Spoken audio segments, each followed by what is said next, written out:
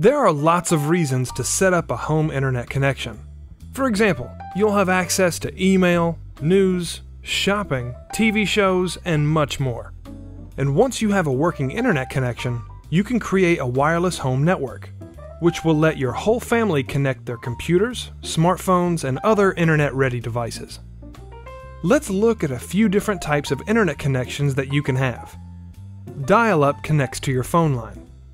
It's usually much slower than other types of internet connections, but in some areas it may be the only option available.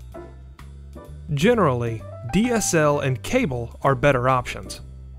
DSL plugs into your phone line, and cable uses your cable TV connection.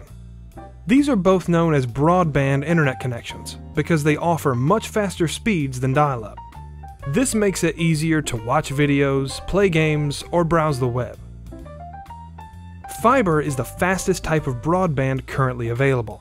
Using fiber optic cables, it can provide speeds that exceed even DSL or cable. However, it may not be available where you live, and it tends to be more expensive. Cellular is sold under a few different names, including 4G, LTE, and 5G.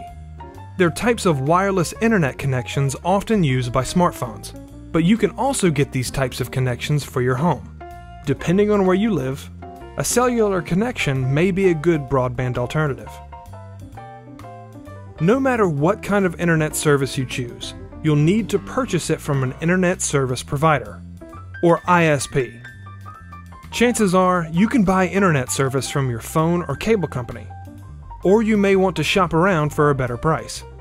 Your ISP will guide you through the entire process of connecting to the internet. They will usually need to send a technician to your home to turn on your connection. Your ISP may also give you a modem and set it up for you.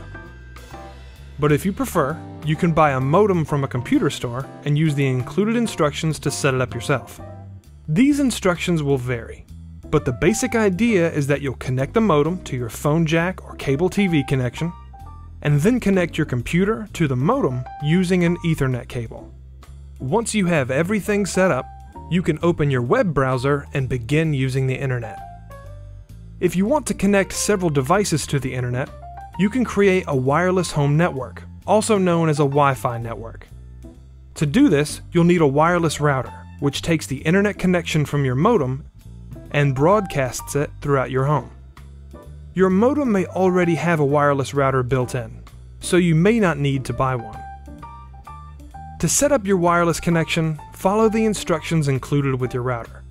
You'll need to choose a network name, also known as an SSID. Also, for security, you should turn on WPA2 or WPA3 encryption, depending on what your router supports. Then, make sure you choose a strong password. After you've set up your wireless network, go into each device's Wi-Fi or network settings, select your network name, and type your password. If any of your devices are not wireless ready, you can simply plug them into your router with an Ethernet cable, or you can purchase a wireless card.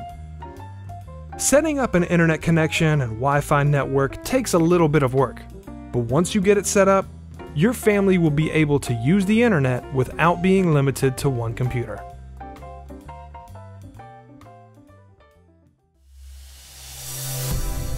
GCF Global, creating opportunities for a better life.